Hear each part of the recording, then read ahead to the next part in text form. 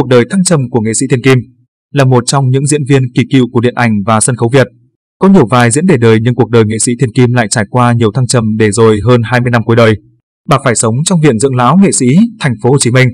Là con của kép hát nổi tiếng sáu đỏ nhưng Thiên Kim không được sống trong tình thương của cha. 13 tuổi, cha mẹ ly hôn, cô bé Thiên Kim phải sống với dì ghẻ, chịu đựng sự hành hạ, ngược đãi. May mắn năm Thiên Kim vừa tròn 8 tuổi, mẹ quay về và giúp cô bé đến với nghệ thuật sân khấu. Có năng khiếu diễn xuất, ngay từ nhỏ, Thiên Kim đã được các ông bầu chọn vào các vai đào nhí, kép nhí trên sân khấu. Cùng với thời gian, tài năng của cô bé dần tỏa sáng và đã trở thành đào chính trong nhiều vở diễn. Trong đó có vai diễn điêu thuyền để đời trong vở Phụng Nghi Đình vào năm 1953.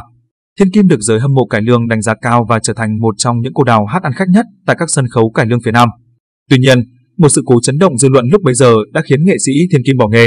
Cuối năm 1955, trong vở diễn Lấp sông danh, một kẻ lạ mặt đã ném lựu đạn lên sân khấu. Vụ khủng bố này đã gây thương vong cho một số nghệ sĩ. Riêng nghệ sĩ Thiên Kim đã phải nằm viện suốt mấy tháng vì bị dính nhiều mảnh đạn.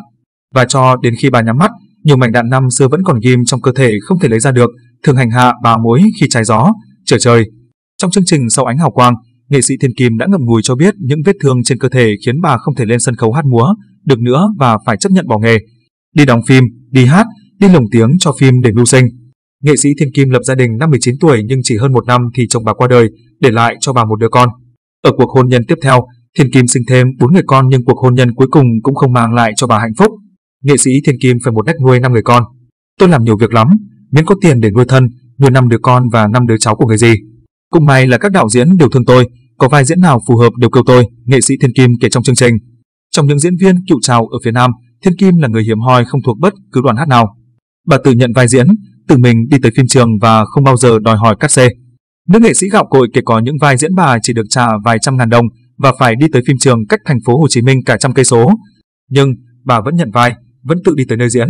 Có vai diễn nào đạo diễn lại gọi tôi, thậm chí có hôm ngồi ở phim trường từ sáng sớm để chờ mấy tiếng đồng hồ mới tới vai mình, tôi cũng không kêu ca. Thậm chí, với vai diễn nhỏ, tôi cũng tập kịch tới lui cả chục lần trước khi vào diễn. Tôi nghĩ đã mang ơn nghiệp tổ cho mình chén cơm manh áo thì mình phải làm hết sức, nghệ sĩ Thiên Kim từng chia sẻ. Năm 2002, khi tất cả con cháu đã lập gia đình, nghệ sĩ Thiên Kim lựa chọn vào viện dưỡng lão nghệ sĩ thành phố Hồ Chí Minh để dưỡng già. Bà cho biết các con cháu bà đều không giàu có. Bản thân nữ nghệ sĩ không muốn làm gánh nặng cho con cháu nên vào viện sống để có bạn bè. Tuy nhiên, khi có vai diễn, Thiên Kim vẫn nhận lời tham gia. Theo bà, ở tuổi xế chiều có được việc làm là niềm vui bởi với tuổi già, đáng sợ nhất là bị mang tiếng ăn bám. Những vai diễn dù nhỏ, dù ít cắt xê, đối với Thiên Kim đều không quan trọng. Bà vẫn đi diễn, vẫn đem số tiền ít ỏi đó chia sẻ với những nghệ sĩ trong viện. Tôi đi đóng vì tình yêu nghề chứ không phải vì tiền, ai kêu gì, tôi đóng đấy. Thậm chí có sinh viên vào đây nhờ tôi đóng giúp dự án của các em, tôi vẫn nhận lời. Vì thế nên tôi nghèo, đến cuối đời cũng không có cái nhà để ở, nữ nghệ sĩ từng bộc bạch như vậy. Vào những năm cuối đời, nghệ sĩ Thiên Kim mắc nhiều bệnh. Sau khi bị nhiễm Covid-19 vào năm 2021, nữ nghệ sĩ đã bị sụt cân khá nhiều. Cộng thêm nhiều căn bệnh của tuổi già khiến sức khỏe giảm sút rất nhanh. Cuối năm 2022, bà phải đi cấp cứu nhiều lần ở các bệnh viện nhưng do bệnh quá nặng, các bác sĩ đề nghị gia đình đưa bà về chăm sóc. Và nữ nghệ sĩ Thiên Kim vẫn tiếp tục chọn viện dưỡng lão nghệ sĩ thành phố Hồ Chí Minh để sống những ngày cuối cùng. Về tân nhạc, nghệ sĩ Thiên Kim cho biết từng biểu diễn chung sân khấu với ban hợp ca Thăng Long, hát những bài như Hòn Vọng Phu, sáng tác, Lê Thương, Lời người ra đi, sáng tác, Trần Hoàn. Các phim ghi dấu ấn của nghệ sĩ Thiên Kim như Vĩnh biệt đàn bà, Võ sĩ bất đắc dĩ, Vua sân cỏ, Mẹ chồng nàng dâu, Chàng trai không biết ghen, Hạnh phúc quanh đây. Những đứa con thành phố, bông dưng muốn khóc, hoa hồng không dành cho em, hot boy nổi loạn. Một đời khổ cực nhưng trong những ngày cuối đời, nghệ sĩ Thiên Kim luôn hàm ơn tổ nghiệp. Với nữ nghệ sĩ, nghề hát không phải là nghiệp mà chính là niềm hạnh phúc của cuộc đời bà. Và nữ nghệ sĩ gạo cội cho rằng được ở trong viện dưỡng lão nghệ sĩ cũng là một đặc ân mà tổ nghiệp đã ban cho, để tới cuối đời bà vẫn luôn nhận được tình thương, sự yêu mến của mọi người. Nghệ sĩ Thiên Kim qua đời ngày 20 tháng 2 năm 2023. Sức khỏe nghệ sĩ Thiên Kim sau cơn nguy kịch.